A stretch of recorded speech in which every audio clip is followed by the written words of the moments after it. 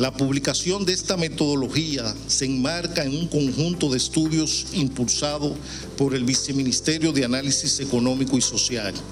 que buscan proveer al público de distintas fuentes de información para la toma de decisiones y el desarrollo de políticas públicas basadas en evidencias. Pero yo quisiera terminar este proceso felicitando la transparencia a la República Dominicana por la incorporación, ser un país más dentro de la América Latina de, eh, la, incorporación, el uso de registros administrativos para mejorar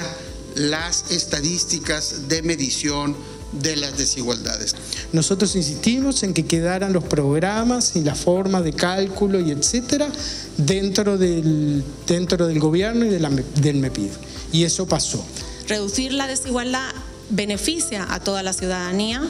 beneficia el crecimiento económico, reduce la inseguridad, genera cohesión social, acelera la lucha contra la pobreza entendemos que debe ser y es uno de los principales retos que quiere impulsar este gobierno. El gobierno de la República Dominicana ha puesto en marcha un gran número de políticas para la reducción de la desigualdad socioeconómica, más de 20 aumentos de salarios mínimos, la regulación del trabajo doméstico, la, la, la universalización del aseguramiento en salud y la disminución del copago, un aumento sin precedente en el gasto público social para ayudar a los hogares y empresas a enfrentar los efectos de la pandemia y la inflación, la ampliación de la cobertura pública de la educación inicial, el Plan Nacional de Reconstrucción de Viviendas y el programa Vivienda Feliz, el Plan Primer Empleo y RD Trabaja, el aumento en la inversión en agua,